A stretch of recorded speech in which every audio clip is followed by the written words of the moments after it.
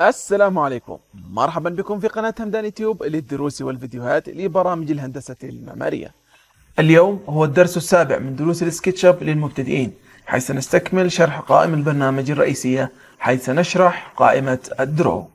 ولكن قبل البدء في الدرس لا تنسوا الإعجاب بالفيديو والاشتراك في القناة.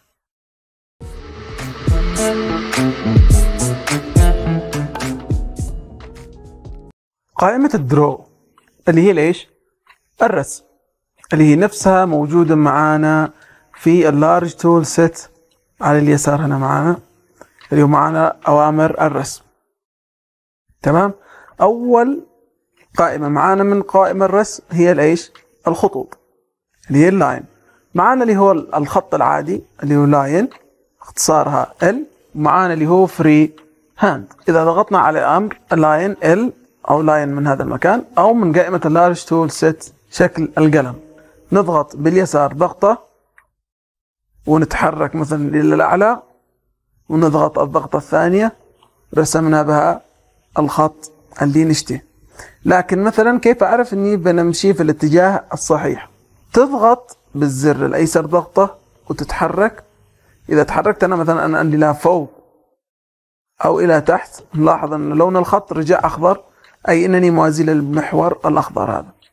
وإذا تحركت إلى تحت بالاتجاه الأيمن وإلى فوق بيطلع لي خط أحمر أي أنني موازي للخط أو للمحور الأحمر. وإذا تحركت نوعا ما إلى فوق بالشكل الآتي إلى فوق وأنا تارك لزر الماوس الأيسر. بيبان أنه لونه أزرق أي أنني على المحور الأزرق.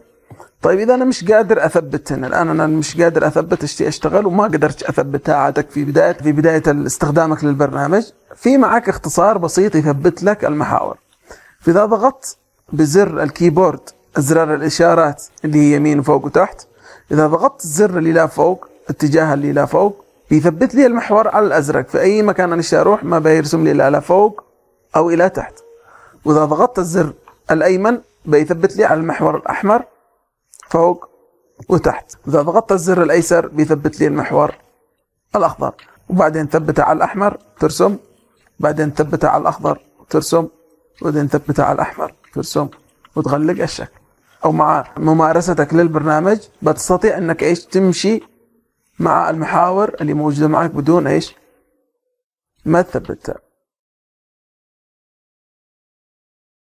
ونلاحظ أنك لما ترسم وتوصل لعند نقطة رسمتها مسبقا لاحظ إنه يعمل لك زي ال snap يبين لك إنك إيش وصلت لنفس النقطة اللي موجودة معك هنا بحيث إنك تغلق الشكل. وال free line ال free line ما بنستخدمش إحنا بالعادة اللي هو نفس طريقة الرسام. إذا مثلا جيت ترسم شكل آه، مش ثابت. الأمر اللي بعده اللي هو أمر الأمر ال arcs اللي هي ال curveات أو الخطوط المنحنية. أربع أوامر لل arc الأول اللي هو ال arc العادي هذا تضغط عليه.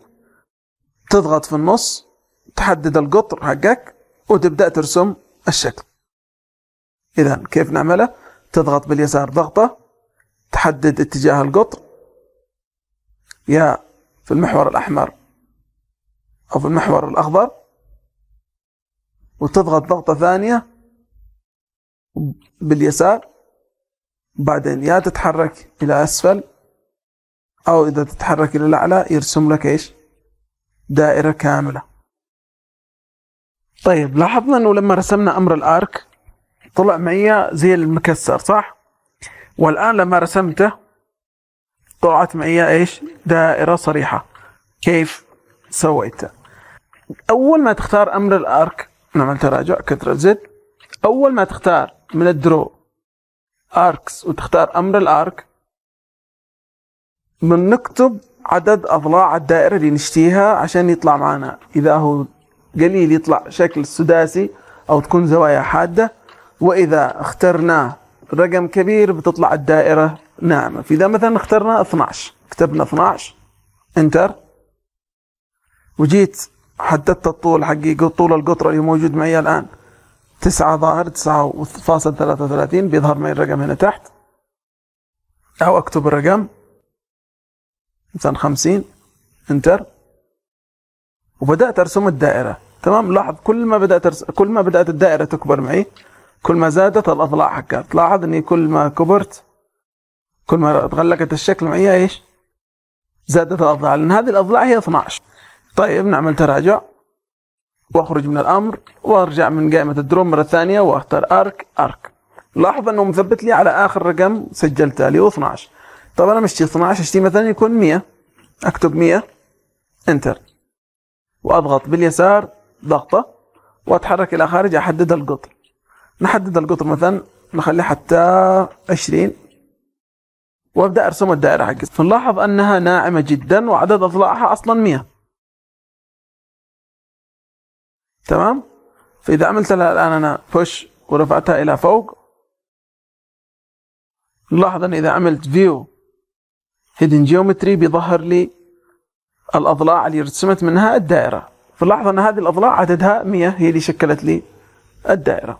الأمر اللي بعد ال arc هو ال two point arc طبعا كل أوامر الدوائر وان كانت دوائر أو كانت arcات أو كانت two point arc هذه أول ما تضغط عليه ضروري تحدد ال sides حقك اللي هي الأضلاع حق الدائرة.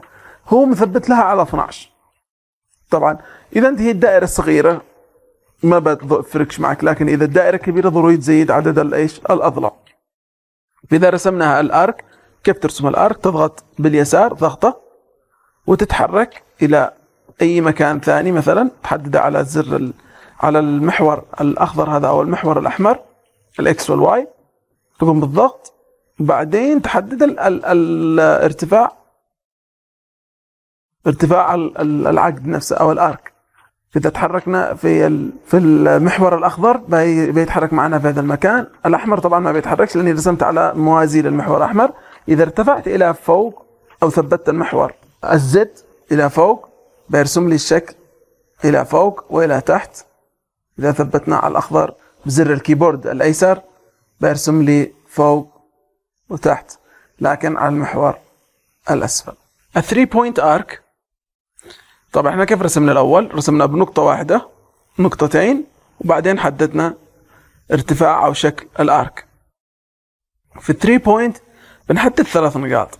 بنبدأ نرسم النقطة الأولى بعدين بحدد السنتر اللي هي النقطة هذه وبعدين بتحرك لما أوصل إلى بداية الشكل. فرسمناه بكم؟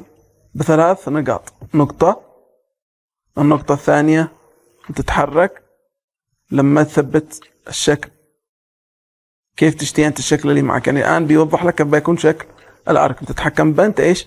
بالنقطة الثالثة. في ال arc العادي اللي هو 2 point arc تضغط نقطة وبعدين تحدد النقطة الثانية اللي تحدد ال ال arc ونهايته. بعدين تحدد ارتفاعه.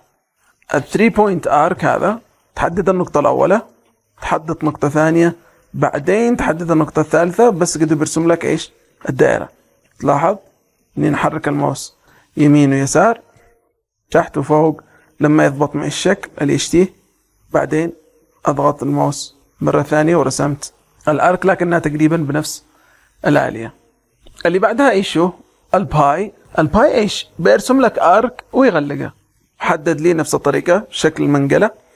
حدد لي ال sides. بضغط ضغطة باليسار. واتحرك.